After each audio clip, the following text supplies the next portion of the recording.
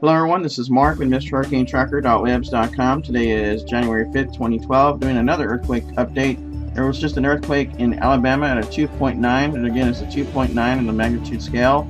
I want to take a look at it using Google Earth. Here, here it is on Google Earth.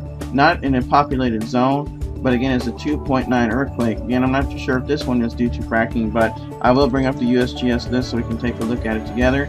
Again, it says that this event has been reviewed by a seismologist at a magnitude of 2.9. However, on the depth, it says it is 1 kilometer or 0.6 miles below and it's poorly constrained. So we'll want to take a look at that later on and see if it's been updated by the USGS. If it has been updated, I will post the information on the website at mrhurricanetracker.webs.com. Taking a look at the location at 33.834 degrees north, 87.353 degrees west. Again, this is a 2.9 earthquake in Alabama. Was only about three miles west of Jasper, Alabama, or 37 miles west of Cullman, Alabama. If anybody in this area had felt this earthquake, please uh, definitely post a comment. I'm not sure if anybody felt it because it is not in a populated zone. But again, definitely uh, keep track on this one. It's probably going to be changing on the death of the earthquake, possibly due to fracking.